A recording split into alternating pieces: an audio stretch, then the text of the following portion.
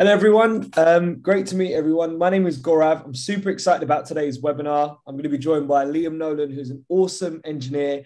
Um, this is our fifth episode of the Inside Track as well. So I'm super excited to host this and also to have on Liam Nolan today as well. Um, Liam is a multi Grammy winning studio engineer um, who's worked with artists like Adele, Drake, Rihanna, Calvin Harris, AJ Tracey, Stormzy, and so many huge artists out there. Um, and it's going to be great because Liam's going to be sharing some awesome stuff with us today. Um, just to start off, if you have any questions, please pop them in the Q&A section. And, oh, we just uh, go back there.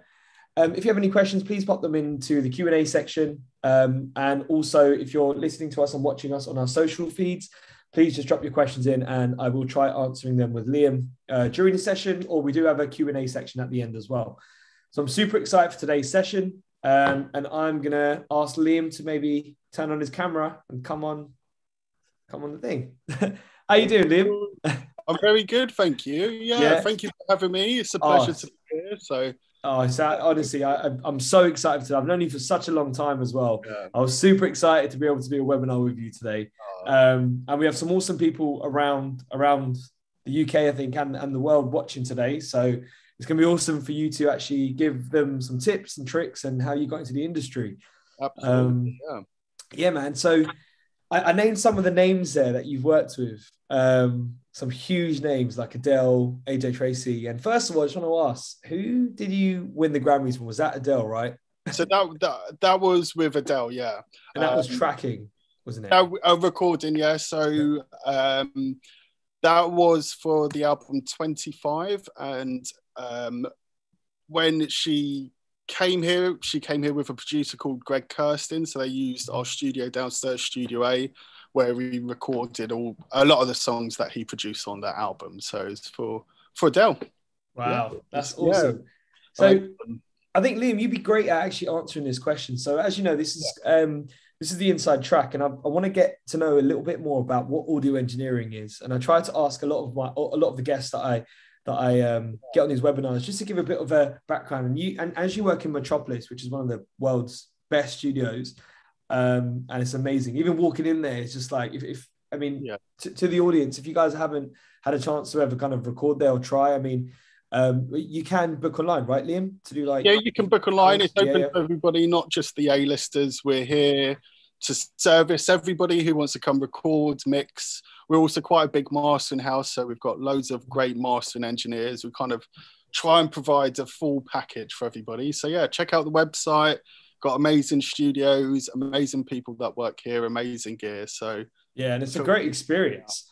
I mean, it's a very, very good experience. Kind of like you know, top of the top when it comes to production, and I think it's just like even even writing there and just um, just spending a couple hours there is just so influential. But yeah, but absolutely. The, the, question that I had for you, which I think you'd give a great answer for, is um, so audio engineering these days it covers so many different aspects, right? Recording, the assistant, the mixing guy. Um, can you name some of the few that either you've done or you you you currently still do? Because I'm pretty sure it's just not just going in and just mixing you've got to set up the templates, you've got to make sure things are done. And of course, um, yeah. So before, like with regards to setting up a session beforehand, there's so much more that goes into it. So um, normally, uh, either myself or the studio manager will get in touch with the producer artist. We'll find out, for example, if we're doing vocals, if they've got any specific vocal chain they like to use, or if it's a larger tracking session, kind of um, what they want to track, whether that be drums, bass, guitars. So beforehand, we'll already have a lot of dialogue with the client to find out what sound they want, um, you know, what they're going after. We'll then, before the clients arrive, set everything up, make sure we've scratched all the mics, have our Pro Tools session ready, ready to go. So hopefully when the clients walk in, we're kind of good to go you know, quick sound check, but make everything as easy and as smooth for them. So I think yeah, that's a lot of what audio engineer engineering is, especially with the top clients, is just making everything smooth, easy, um, and not letting any of the technicalities get in the way of the creative side. So making sure everything's ready to go. We can quickly throw up whatever for them yeah. to try.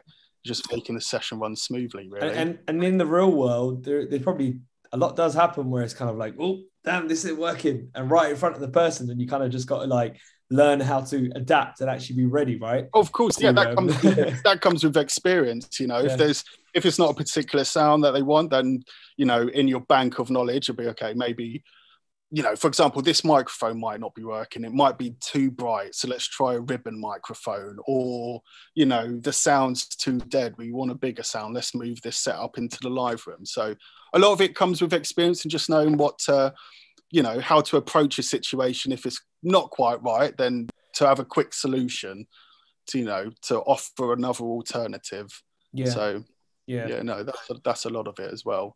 But hopefully that doesn't arise too much because you already have had the conversation yeah. with the producer about what they're going for. And that's kind of like the um, something I said last week is like like the artist has um, you know because I because I do a little bit of engineering myself. And one thing that I say is always like as as an artist, I mean I think I might have learned it from I don't know if it was you or someone did tell me that, but like the artist should be warmed up before they come into the studio, but just like the engineer should be warmed up with mic selections and um, yeah. session templates and everything. It's a similar kind of thing, right? It's just being yeah. being so everyone is ready to go because if yeah, you're not, you've got to be you've got to be prepped for the session. You can't, you know, the biggest vibe killer is you know a client walking in, nothing set up, you don't know what's going on. It's like, okay, why have we booked this studio? you know, you've got to be on top of your game, ready to go at all times. Really, yeah. comes, yeah. Again, with dialogue beforehand and knowing what the session's going to entail. Really, yeah. Yeah. Um, all right, Liam. So I want to. Yeah. I've, I've, jumped a little bit far ahead, but I want to go back a little bit now to to Liam Nolan and your career because obviously I've known you since I think the Adele times when I first met you. Yeah. Just after that, so.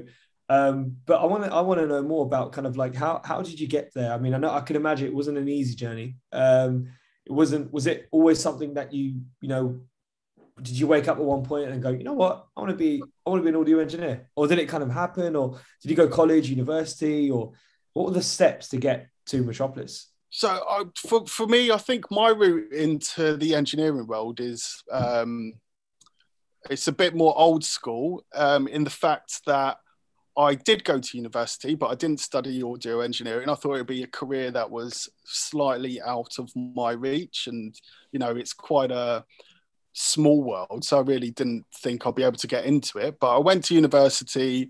The subject I studied, I wasn't really that interested in. So I kind of did a hard reset and thought, you know what, I'll try and get into engineering because that's what I really love. So um, what what happened was initially during that first phase, the the Roundhouse in Camden is um, a fantastic organisation because they also have underneath the main venue, they've got like a little um, studio there. You know, practice rooms. If you're under 25 at the time, you could sign up for like 10 quid a year and go use their practice room. Wow. So I signed up for that. I did a three day training course in how to be a, a, a sound engineer was amazing, eye opening, but um, you know, it gave me my foot in the door. And then because they had strong links with the studio manager at the time, at the time, at that time, they then gave us a tour around Metropolis, and I was like, oh my god, this is. this is the studio. I was sold. I was sold. That was it. I, I, knew I wanted to work there. So yeah. immediately the next day, I handed in my CV to Metropolis. I was like, I'll do anything. I just want to come in. So I started as a runner here with only my three days worth of experience wow. in studios.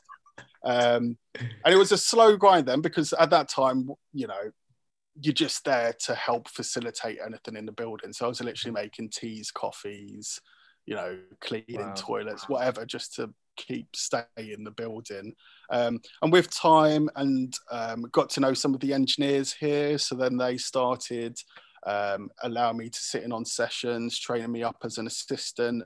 Um, so then that was a good number of years. I was doing that five, six years assisting wow. here. And then a similar amount of time, you know, learning my craft as an engineer. Wow. So I've, I've started entirely from the bottom here at Metropolis and learn everything on the job, really, which is wow, that's amazing. old school, yeah. I love that though because that's like you know when I was at uni and I actually did a music production course. That's the story they did tell us. um, it's nice to hear someone actually go through that. But go back yeah. a little bit. So when you was an assistant, what were your roles as an assistant at kind of one of the, the world's biggest studios? Um, what did you kind of like? What were the challenges that you might have faced, and um, was it always kind of just setting up templates or setting up mics, or was there kind of more to it that you thought, "Wow, this is different"? Yeah. So the, the biggest thing actually, so the role of an assistant is to one set up the studio, make sure it's all working before the clients come in. Come in. So that's setting up the microphones, scratching everything, making sure it's all ready to go. But the biggest thing that um, I learned when I was assisting, you know, you can learn all the technical side of it as you go. But especially in a studio like Metropolis, where you're dealing with A-listers, um, the big thing that I think the engineers at the time were looking for was more of the hospitality side of it. Mm. So, you know, if you you know you're there to get everything set up but then make the session run smoothly make everything feel everybody feel comfortable kind of try and troubleshoot. So if somebody says okay i'm thinking about recording a guitar you know you'll whisper into the engineer's ear okay what should we have set up just in case this happens and it's your job to go and you know set it up just in case anything happens and make again make sure it all runs smoothly. So mm-hmm. you know I think that's the big part of being an assistant is just sitting at the back, not really being that, you know, noticeable, but just keeping your eyes on everything that's going on and trying to stay one step ahead and make sure everything runs smoothly. Really, it's like just being just being ready, kind of for for anything yeah. that might come your way, right? Because obviously, as as as the engineer, they're probably really focused on getting everything done in, in the short space of time that they might have. Um, awesome, man. I mean, and then then you went from the assistant straight into an engineer. Um, and then you worked with, I guess, would you be given kind of like more smaller clients, or was it straight in to the A-listers? well, well, uh, normally they kind of ease you into it. So you do start off with smaller artists, less high pressure, you know, um, sessions. But I, I guess my big break, where when I started to engineer, I kind of landed on a really good uh, session. So at the time, I started doing some downtime for a band called Clean Bandit, which was that's um, nice, which was all good. Um, and that was just with their strings section. So I got to know Grace, and then um, then when they came in with an actual booking, um, they obviously requested me to engineer. And the wow. first, I guess, really big breakthrough engineering gig, uh, gig I did was Rather Be. That was kind of the one that wow kind of announced, okay, I'm now an engineer. I'm an engineer now. yeah. Well, kind of. I was, you know, still at the time. Once, you know, that did well, it kind of gave me a bit more confidence. Where I was like, okay, I can now transition a bit quicker from assisting to engineering. Wow, so, that's yeah. mad. I yeah, mean, that, that kind of leads me on to now. And you know, I was going to ask is how was it working with Adele? That was that's a big one. Um, yeah, it was it, it was amazing. It, she's super lovely as yeah. you see her on TV. That's how mm-hmm. she is. But that session is actually very different from a lot of the other sessions because when she came in to record here, um, that was again still quite. So when did that album come out? 2016. Yeah. So she was writing with Greg Kurstin a year or two before. So that was actually still in my transition phase from assisting to engineering. So I was initially wow. actually put on as an assistant to Greg because um, it was initially just going to be a writing session, see what happens. Right. So we had um, a setup day beforehand where Greg was like, actually, we're going to need the piano set up, we're going to need some drums, guitars, bass. So it was a full band tracking session and he plays everything because he's an amazing multi-instrumentalist wow. so it kind of turned out that you know you know it was more engineering You ended up being a bit yeah. more engineering um although every and what was really interesting about that was he because it's Adele was running everything into his laptop so he had four inputs um one and two were for the so the drums was a sub mix on the desk going mm-hmm. to one and two. Same with the piano, um, guitars and bass going into input three mono, and then Adele's vocal four. So wow. what was quite interesting was you know the piano was a sub mix, you know, of the close mics, the rooms. Same with the drums. So it was a bit different in that fact that it wasn't fully multi-tracked. Yeah, yeah. Wow. Which and I mean, Meant to him, you know. and, and how was it like obviously hearing hearing her live? Because obviously she's very powerful. There's a lot of emotion there. And obviously when you're trying to work and hear that live, I mean, I'd be sidetracked. I'd be like, wait, what? um, Yeah, so how was it kind of yeah. like being in that room? I mean, yeah, she's she's amazing. Again, I'm not even going to lie. For a lot of it, once they were rocking and everything was working into Greg's, I would just pop in. So a lot of time, once they got the sound, I'd leave them to it. Come Mhm. in if they needed to change anything, mic anything else up. But a lot of the time, because again, it was writing.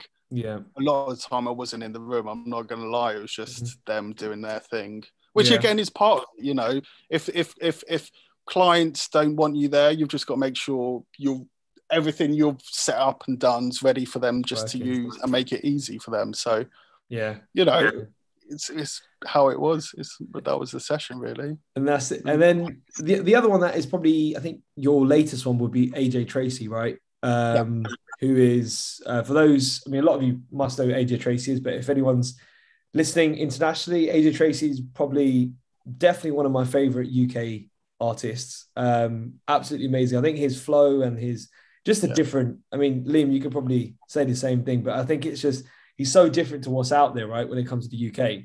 Um, yeah, it's amazing. and It's- I weirdly had I'd met him at um we have a thing called Carnival and I met him there once before he blew and on just off Ladbroke Grove and uh, Yeah. he was just such a nice guy and I could tell that his personality is exactly the same.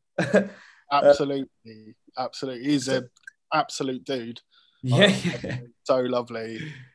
And Yeah. what did you what did you do with AJ then? Was it more tracking or mixing then, Liam? So that was tracking. So he would come here to cut all his vocals. So Mm-hmm. recording the songs, a lot of writing, and he's a real special artist because the speed at which he can write is obscene. He's the Wow. quickest guy I've seen writing lyrics and bars. He is so quick. So when we're on a session, it's normally, you know, he'll have his producer Nyge there and a couple of others.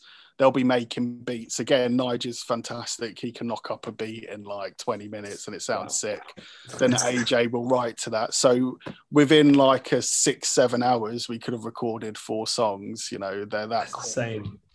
yeah, he's he's a different beast. He's an animal. He's amazing. Workflow. Yeah. That is workflow, isn't it? I mean, actually, just on that point, I mean, how important is kind of having a, a- like a so-called engine running there? Like, you know, I've I've heard a lot about writers and producers, kind of like the art. So the artist, someone's making a beat here, um, then they get passed into the engineer. The engineer's working with the uh, artist directly. The Yeah. producer's got headphones on, working on the next track. That that cycle's just insane. But then you get people who just work directly as like like obviously w- with, with the pandemic it was obviously really difficult everything was getting sent through through Yeah.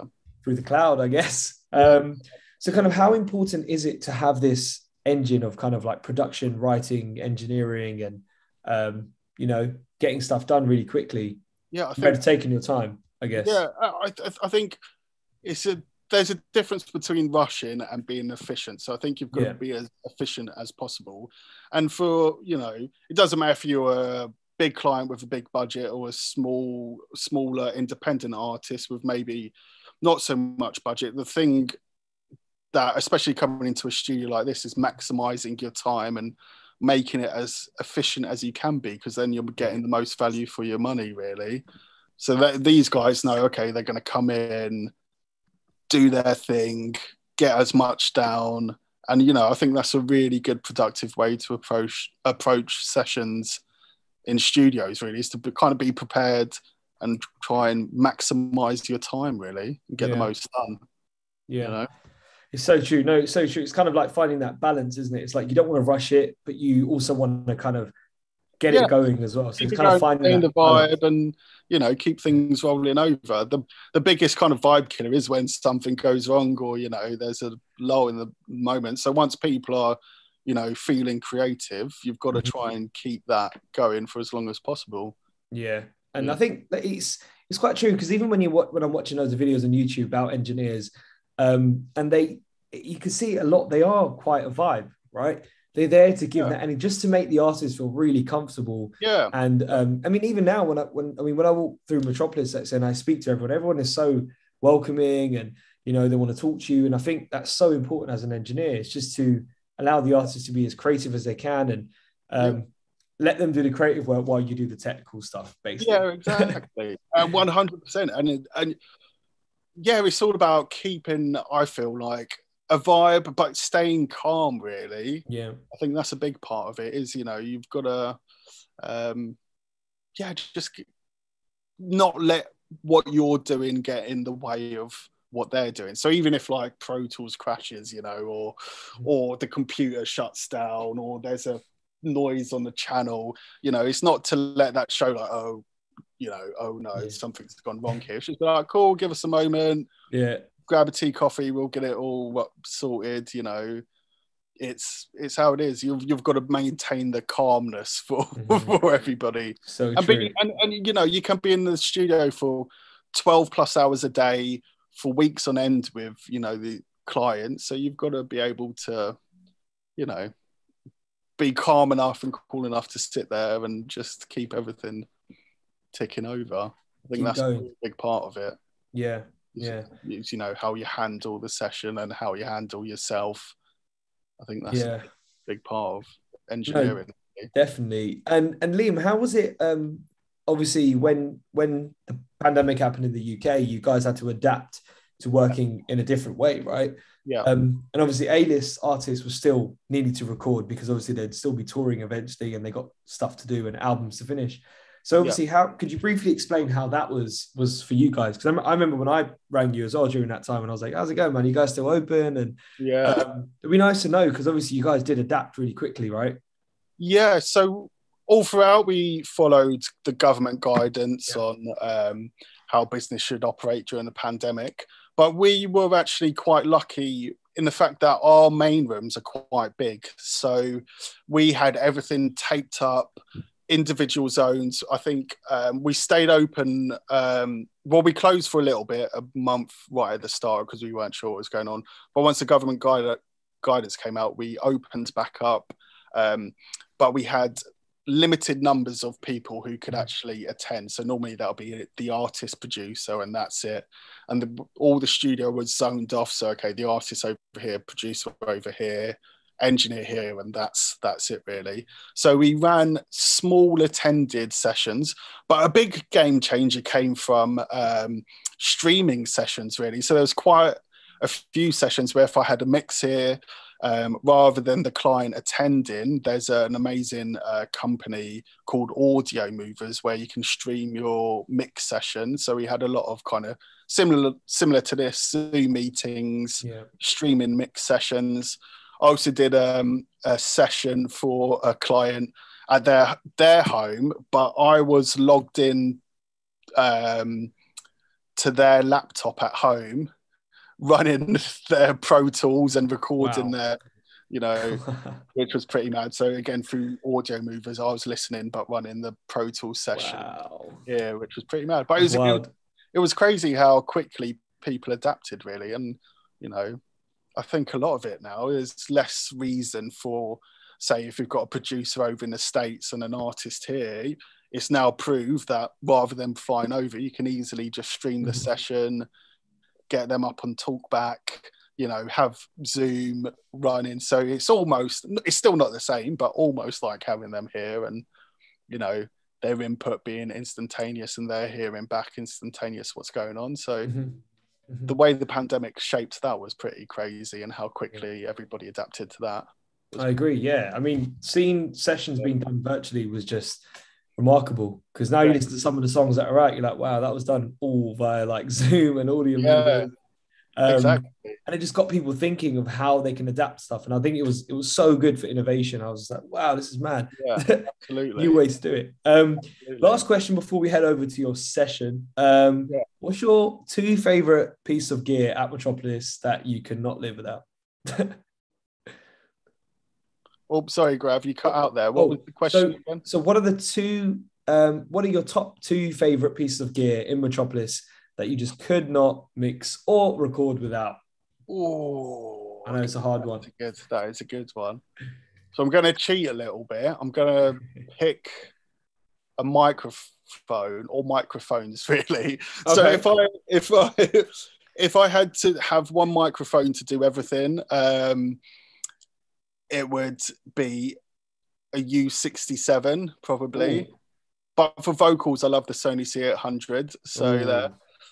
Um, of course, we run Pro Tools, so we need to have Pro Tools. That is like the essential thing we've got to have. So we've got to have Pro Tools. Um, I can't work as nearly as quickly in, in, in any other DAW, so definitely Pro Tools. Um, if I had to have one compressor, maybe um, oh, it's a tough one. 1176 probably, or the TubeTech CL1B. I don't know. Can I have both? Ooh, you can have both. Definitely have both. Um, I think that's amazing. I mean, the the um, the CLB is absolutely amazing. Yeah, so it's the workhorse of yeah. Um, even the so recently I've been trying out the Softube version because you can use it with carbon. So I've been using that yeah. out as well, and it just sounds so so crisp. Um, Control, for, especially for vocals, controlling yeah. the dynamic. It's like the one really. Yeah. Um, get that dialed in. Well, Liam, that's me done with my questions. Um, yeah. And I think we're gonna we're gonna get a little bit of an insight of your session. Um, yeah. So I would like to show two things because a lot of what I do is like working with uh, rappers and vocalists. I thought I'd show you my Pro Tools template on mm-hmm. how I uh, work with that, and then if we've got time, I'd qu- quick quite like to show how um, uh, a thing that really changed the game for me was how I do my automation, mixing automation in Pro Tools and really speed that up because I know yeah. there's loads of videos on mixing, but I think that really can make your mix pop is automation. So I'd like to show that yeah. as well. So um, I'm just going to squidge over here because I've got yep. my Pro Tools rig. So hopefully. Uh, hopefully and if anyone has any questions for Liam, uh, please just pop them in and we will definitely get to them uh, in this session as well. I'm excited to ask Liam a few more a bit later. But yeah, just drop them in the Q and A, guys, and um, we'll come to them soon. So, so Liam, this is your vocal template. This is my right? vocal template, indeed. And, wow. and although it's it's actually really simple, I think I've run a pretty simple, no fuss kind of template. Um, pardon me. Um, so the first thing I've got to say is obviously when recording vocals, I try and pick the right unless the uh, if the artist has a specific vocal chain, we'll use that. If not, I'll try and pick a mic and a chain that suits the voice. So normally it'll be either U67, C800. We've got um, down here you can't see, but we've got a Neve 1073 preamp I like to use, and I normally just filter off 50 hertz rumble and then I would either go into a TubeTech CL1B or 1176, and that's my vocal chain. Um, and with the compressor, when I'm recording, I'm probably um, uh, not doing more than like 5 dB gain reduction max on the really loud bits. I just want to control it, but leave options for um, you know the producer or whoever at the end of it. I may go a little bit harder if I know I'm going to mix it myself. So, but when you're sending vocals off, you're not sure who it's going to. I like to leave a bit of headroom for people to add their own processing. So once I've got the vocals all good, I'll explain again. It's super simple. Um, I think it might it might not be, but how I run my vocals. So here, um, first of all, my AVOX is where all my lead vocals go to, basically. Um, and I've, I've, found that a lot of artists like to hear back in their monitors a, a finished, polished sounding vocal um, in their cans. So all my uh, vocal tracks here will go to my AVOX bus. Wow. And here I have some processing DSP plugins from um, uh, plugin alliance because it's DSP low, you know, is the latency is not so high, so you can really kind of use plugins to sculpt. So here, if I, I have a TLA Summit Audio TLA 100, and that's just again doing a couple dBs, kind of where uh, gain reduction. I blend less or more depending how much. But for a lot of the really kind of rap guys, um, they like a lot of compression on their vocals. So this one's the one where I'm really kind of giving it a bit more welly to really lock in, you know, the vocals. So that's an 1176 style compressor, uh, slow attack, uh, quick release. Um, it's kind of yeah, just to really pin and hold the lead vocal. Then I, I, underneath, I have my EQ, and this is uh, EQ based on the GML um, 8200 parametric EQ, the hardware version. And again, I'm just filtering some low end, uh, quite a bit of top end there, but that depending on the voice. Again, that's to bring out the presence, make it brighter for their cans.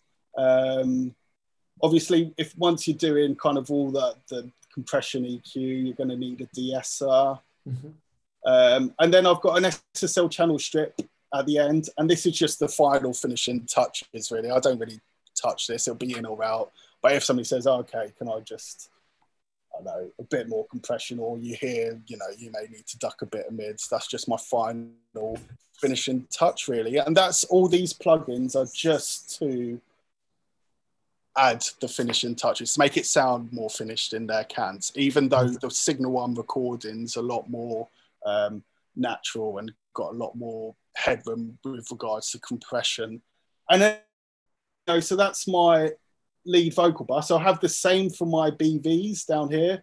A BVox, I'll normally record my BVs on here. And same with my CVox, or they double up because sometimes you, a lot of the time, you may not know who's coming into the session. So these can double up as like guest vocal buses. So they're oh, wow. multi-purpose, if that makes sense. It could be for BVs, or if there's a couple of extra people laying vocals, then this will become their vocal uh, bus.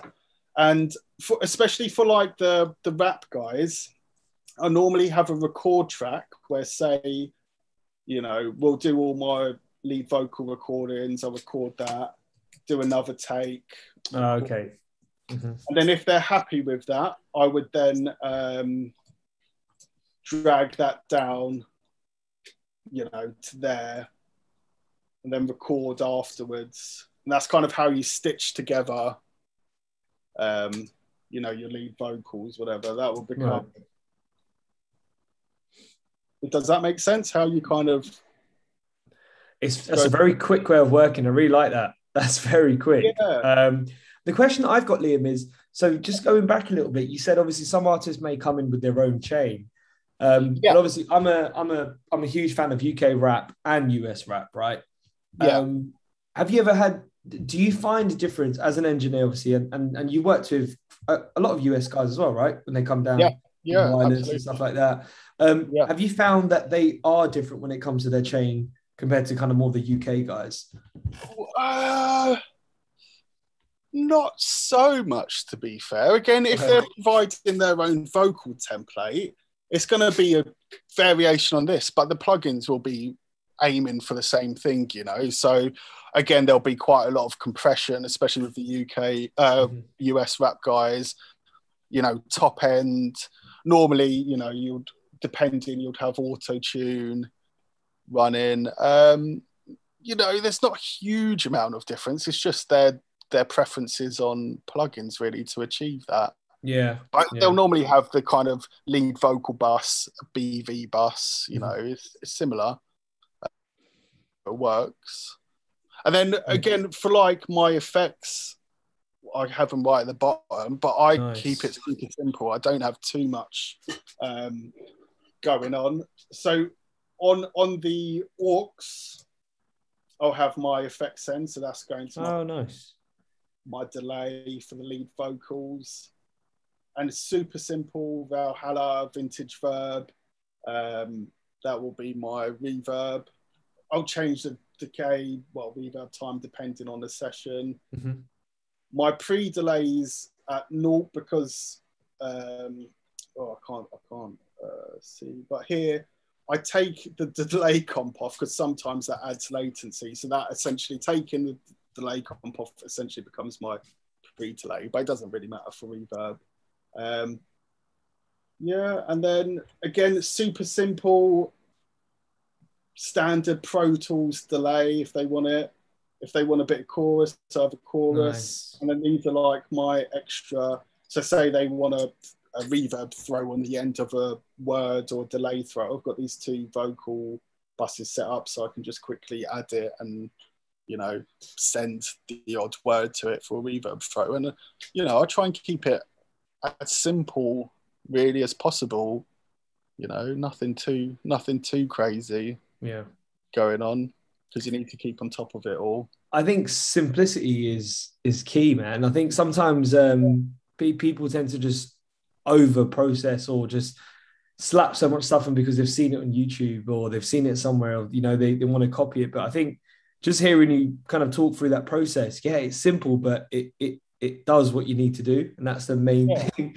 Um, exactly.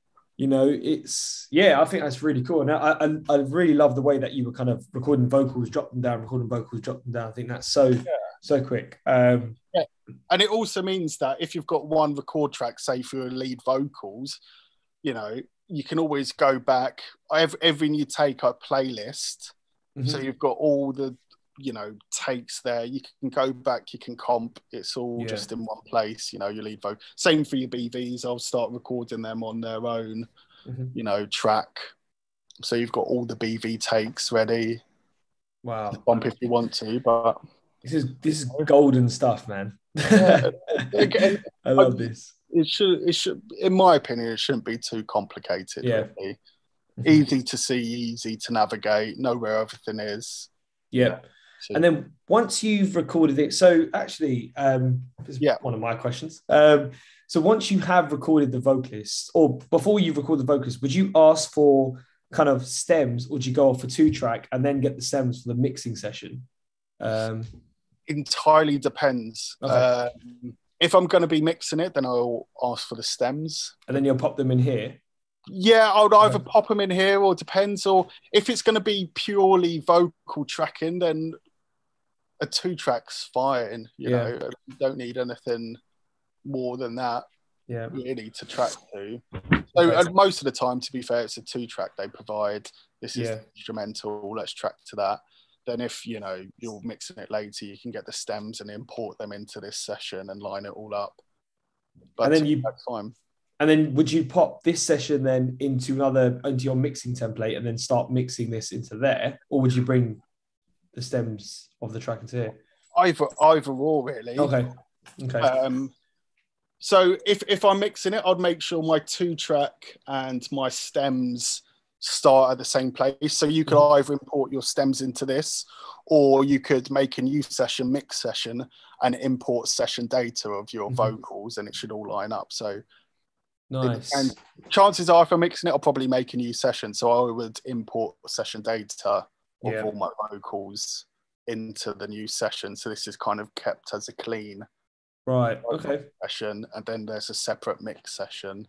Yeah. Um, man. Cool. I mean, I think Yeah. I, I, I definitely want to get you on your second session because I'm excited to hear about your automation. Um, Yeah. So, should we load that one up for 10 minutes and then we can go on some of the Yeah. questions that are coming in, Liam? Absolutely. So it's a super quick one, but I think it'll be really handy um, to people who are mixing on Pro Tools because it was the one thing that really sped up my automation. So it's a quick one, but it's a really good little tip, I think. So two seconds, I'll just boot that up. So let me open Reason.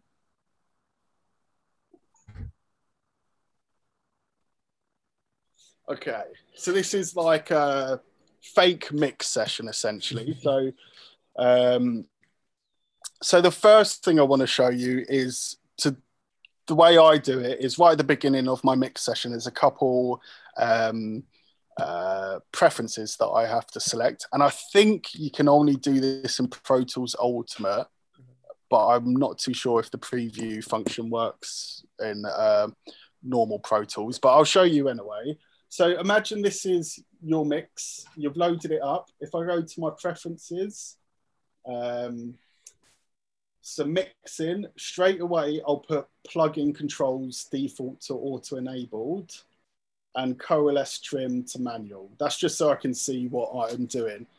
So imagine I'm mixing. This is my mix. I've got my balance. I'm going to add some plugins. So let's add, um, let's add a compressor. Let's add an EQ. Okay. So I'm mixing and I've got a static balance. I've tweaked all my compressors, my EQs. But once I've got my static balance, I now want to make movement in the session or change things up. So with Pro Tools, if you do Command 4, you can bring up this automation window. And this shows you um, what you can automate, what's enabled to. But this is the genius bit, is this preview automation button down here, which allows you to change your mix, your plugins um, without, so you can change multiple things and A-B between your current mix and your tweaked mix. So for example, say I've got, um, this is my static balance here for my verse, but now I want to change um, my balance for my chorus and my EQ compression settings. Um, with preview, you know, you can, um, in fact, sorry, I've got a step ahead of myself here.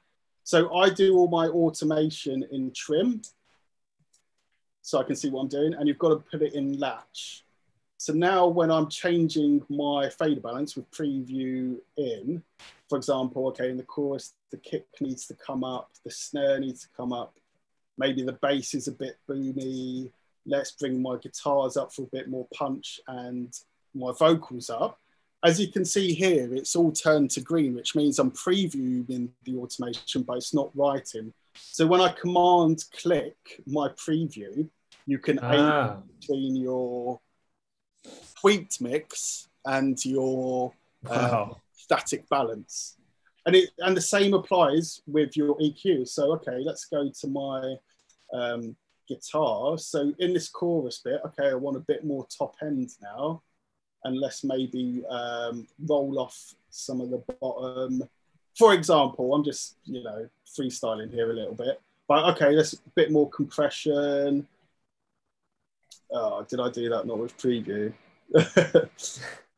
but uh, okay, so let me start again. So with previewing, you know, you add a bit of top end, change your compression settings again. So you can really sculpt the mix. So when I A-B, you know what I mean? You can tweak a whole bunch of things. At once. At once, A-B it. And then what's genius about it? So say I've got this now new balance for my chorus. I think that's fantastic. Mm-hmm. Um, if I go to wave trim, so you can see the uh, uh, the automation being written. So say here, I've got all of this now, it's fantastic. I'll capture what I've done and I'll write the automation to that bit. And it's written the automation for that section. Wow. They all want to do the same for the second chorus. I can just click here, you know, and then write that there. Um, and then write it there. So That's do you know what I mean? It's like a yeah. really quick way of trying things out and really sculpting your mix really quickly because when I first started mixing, I didn't know about this feature. So I'd be like, okay, in the chorus, I need to push up the guitars. So with my mouse, I'd push up the guitars only. Mm-hmm. I'm like, okay, now I'll probably need to push up the bass. But this allows you to do a whole bunch of stuff wow. very quickly. Um, and yeah, you can fly through automating a mix using this. So that's kind that's, of how I, such a gem. That's a that's a really good um, tip. Yeah, because I think there's loads of videos on how to mix, but the thing that really makes mixes um, come alive is all these kind of moves and you know cha- changing the dynamics and relationships mm-hmm. between stuff. So I think if there's a good way of well, this is the best way of doing it that I've found. You know, where you can really make your mixes super dynamic really mm-hmm. quickly mm-hmm. um, using this method it goes down again yeah. to to efficiency, isn't it? It's just like Absolutely. it's efficient, it works, it does the job, and um, you get a bit of extra time at the end because you've you've you've been quick with it.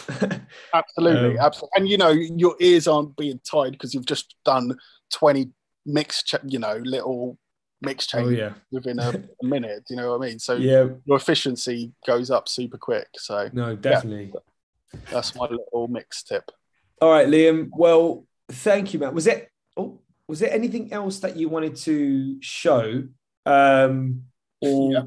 was that it? Was it? Was there one more? No, no. So I think No? that I think that was that was it. Yeah, That was it. Okay, cool. that's all right. I Obviously, mean, that was amazing. That was. Uh, uh, I think I've already had someone uh, comment about the automation preview as well. So that's awesome. What I'm going to do then, Liam, is I'm going to bring up some questions um, Yeah. from people around around our uh, social feeds and and the Q and A over here as well.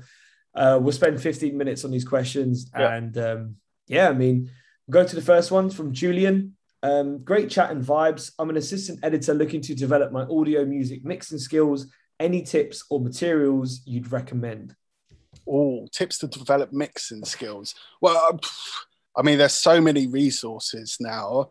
Um, I guess first of all, the biggest tip I can say is just practice it. Practice makes perfect. So you can you can watch as many videos, but you've really just got to do it yourself and you know try out. So keep practicing your mixing. Amazing resources like uh, a free resource that I use all the time. I'm a big fan of Dave Pensado. So I l- always watching his YouTube, Pensado's Place, uh, Into the Lair. He's always doing mix tips. There's um, you know other resources such as Mix with the Masters. You have to pay for that, but you've got the top mix Yeah. engineers in the world giving a breakdown on their mixing process, which is super invaluable. And yeah, you, YouTube. Honestly, the amount of stuff I've learned off YouTube or made me think differently. Um, you know, if I'm not sure, okay, for example, you know, I'm really struggling to get a lot of low end out of my 808. I'll just search in YouTube like 808 low end tips, and you know, you get thousands, a lot, you know, of videos on that. So honestly, I still use YouTube for the most. YouTube is yeah, it's such a um, it's always Yeah. going to be one of the best kind of things, isn't it? Because it's free, Yeah. it's always there, it's accessible, um, and was so much content on there. absolutely, Like I search anything and everything that I've got a problem with. I think the other day I, I broke my iron and I was trying to fix it, and I was like, let me just Yeah, Google it. Let me just go on YouTube and try and see if anyone can help me fix this iron. Um, Exactly. anyway, so I think that was awesome. That's such a good answer. I mean, Mix with the Masters, especially, is just Yeah. like, um, you know, that's their stuff is just absolutely amazing, isn't it? It's just Yeah, really in depth, detailed. Um, absolutely. It and then, so the next one is from um, one of our Avid specialists, Simon, um, which is awesome. Um, so yeah, great question actually. But how do you feel about Atmos and spatial audio? So has it Yeah. changed the recording and mixing workflow for you? Because I know you guys have a room now in Metropolis. yeah. right? Awesome. So At- Atmos, yeah, I've, I've been delving into Atmos, and it's a really interesting um, space, really. So it to begin with, it's a bit of like, well, what's going on here? Because you're now visualizing, well, spatializing the mix in a in, in a room. So that that took a bit of getting used to. But to be fair, once you kind of know the groundworks and how it all works, you know, it's super seamless with Pro Tools. It's really easy. You kind of figure out just by doing it, for example, where you should place the drums, Yeah. Where you should place, you know, your lead vocals. It becomes very intuitive, and it's amazing, really, how intuitive you guys have made um, mixing in Atmos. And but the real exciting thing that I think will happen, and I'm hoping will happen, is when you start approaching the recording process with Atmos in mind. Wow. So we've already done one session where we had a vocalist, um, a guy playing the piano, and a guy playing the violin, and we mic'd it up as if you know you're now treating that recording as the room. So the piano, you obviously had your close mics, but you had some mics for the height, you had some mics for the you know far away for the depth of the room. So when you start approaching recording with Atmos in mind, that's when it becomes really mind blowing and kind of really gives I mean, makes use of that in extra dimension. You know. yeah. I mean, even like uh, the other day when, so it's a funny story, but um, the first time I really was the kind of more of the listener Um, because the other day I was on a plane, I was on a plane going to Spain, but I forgot to download all the normal music. But I downloaded the, the Atmos um, playlist. I was like, wow, this is this is gonna be cra-. and I was blown away. I was just sitting there and I was like, this actually sounds. Yeah. You end up really questioning about audio and like, wow, whoa, Yeah. where did that come from? Um, No, it's amazing. I love it. The whole binaural stuff is amazing. What that does. So good. And the I fact that it, no, sorry, the fact that you know it kind of gives back some more dynamics into the music, where compared to your stereo, kind of makes things Mhm. more exciting. If, if that makes I sense. agree. That back in. Yeah. So yeah, I, I see it as like technology is moving so much otherwise. It's just it's about time that we move with audio now as well right? Yeah, um, absolutely. i'm really excited for kind of 2022 for audio because it's going to be really cool. Um i've got a few more questions Liam. So this is from Mike. Um so Liam how do you create space in your mix without losing the fullness of your sounds especially with regards to percussion? I struggle to keep sounds feeling full and still clear punchy and still Yeah. clear punchy on top of other sounds So that's a very good question. It depends, but I find to get everything still clear and punchy. Um, I once I've initially got say my vocals in my drums, I very rarely solo any source after that, if that makes sense. Only to check, maybe, like if there's something weird to check. But the key to mixing is really keeping everything in the mix so you can hear how things are interacting. Whether, say, for example, if you're struggling with your percussion, then you know chances are it, it, there may be stuff in the if you've got drums that may be masking it. So you don't solo your percussion, make them sound good. Don't solo your drums to make them sound good. Mix them together and try and figure out where things might be masking to mm-hmm. try and create that extra space. Because it's all mixing is all about figuring out the relationship between your different elements and making space for them. So I guess my biggest tip is really just to listen to everything in context and critically listen to see what may be masking a particular source that isn't cutting through and try and rectify that whether with EQ compression or or anything like that really That's a great, great answer. And and should people be mixing into a limiter? Would you say is it is it great to have a lim- limiter on or not Oh, really? sorry, you oh, sorry, did you lose me? Oh, um, is it? Would, would you say mixing into a limiter is a good thing, um, kind of on your mix bus, or would you rather not? That's a, That, by the way, that was one of mine. yeah, yeah, yeah. At okay the tail end that question there, I was like, Yeah. yeah. Do you know what? I mix with my mix busing and my limiting in um, now. And the nice. reason, the reason I do that is because um, once you kind of got a feel of what your mix bus is doing, you know, where you, it becomes kind of intuitive. So you know, okay, if I'm going to be pushing my kick up, you know, my compressor should be hitting at this particular amount of gain reduction. It becomes very much mixing into your mix bus to Mm. get your sound, you know. And when I take it on and off, it's not doing a huge amount. It is adding stuff, obviously, Yeah. but you know, I just find it easier to get a bit more consistent mixes when I when I'm mixing into something, if that Right. makes sense. Because Yeah. it, al- it kind of almost becomes like my gain staging because Yeah, I know that if I'm pushing too hard into it, my mix is probably a bit too loud. So Right. I kind of know where the sweet spot of what my compressor should be doing um, in my mix bus. So that's why Mm-hmm. I mix with it in because, okay. yeah, again, it just speeds up the workflow. Yeah, no, that's true. Efficiency again, right? It's all about efficiency Um, and saving your ears. Yeah. Then the next one we've got is um, opinions. So it's from Christopher. It's opinions on limiting and loud slash loudness. Do you think crushing dynamics has a desirable sound in some cases, whether it's using a single component or groups? This is less for from a mastering perspective and more from a mix perspective. Ooh, that's a good question. I mean, yeah, limiting, you shouldn't be afraid of limiting. As I said, it's all about using your ears. So if it's adding some, you know, even if it's really crushing it, keeping it, but if it's adding excitement and adding to your mix, then I don't see a problem with it.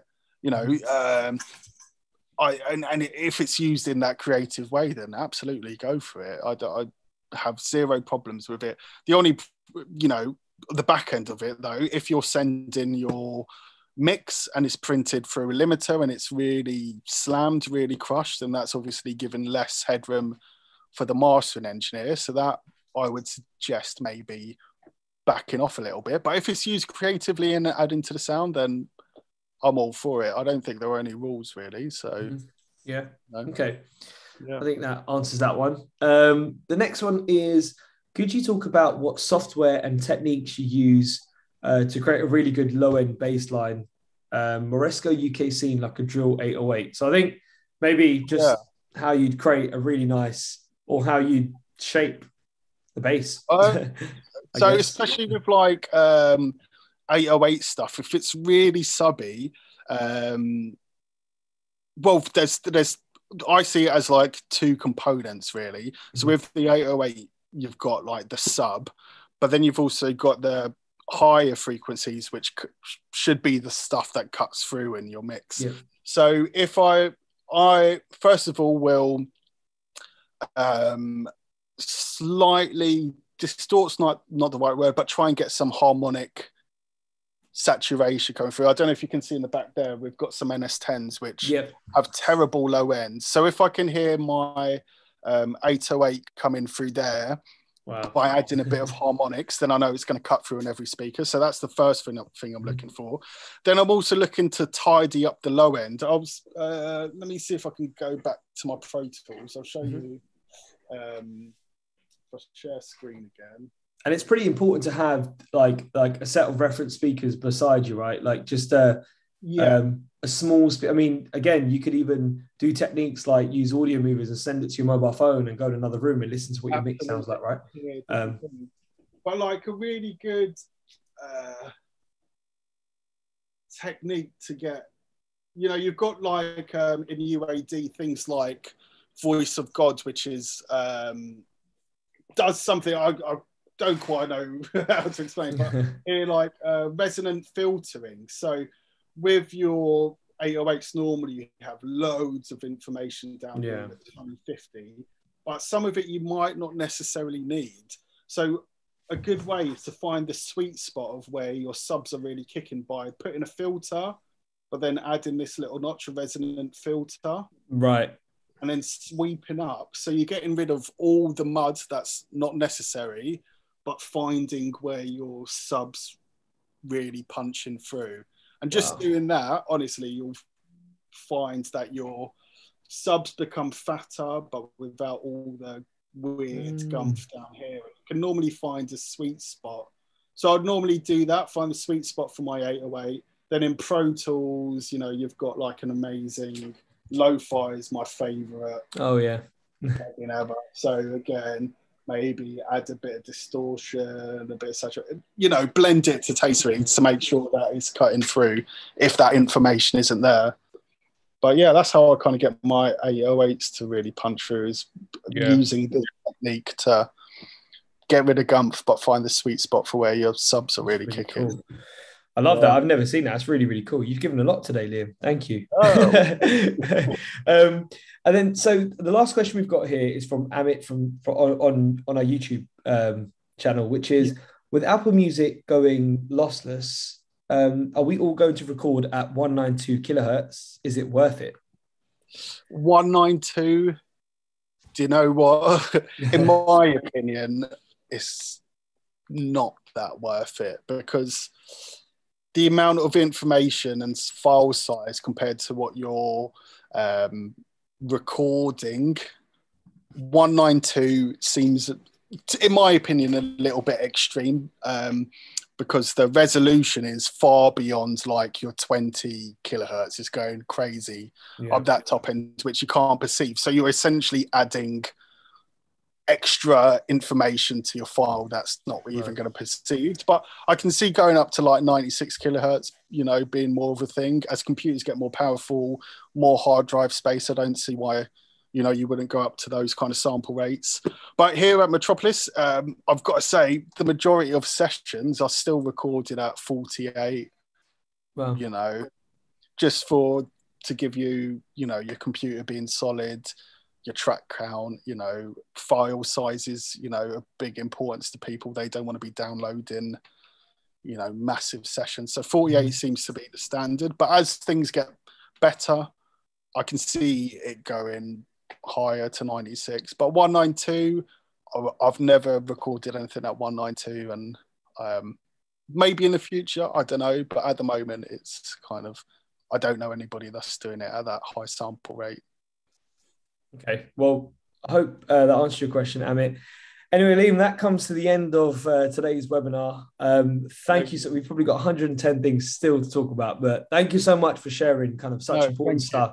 Um, it's always an honor to have people like yourself on on our series and sharing gems with us and just just yeah talking about their career. Um, it's been awesome, and thank you so much. Thank you for having me. It's been Cheers, a pleasure. Cheers, thank man. You. Um, Cheers. All right, guys, I'm gonna oh just um, show you next week session as well, which we have going on.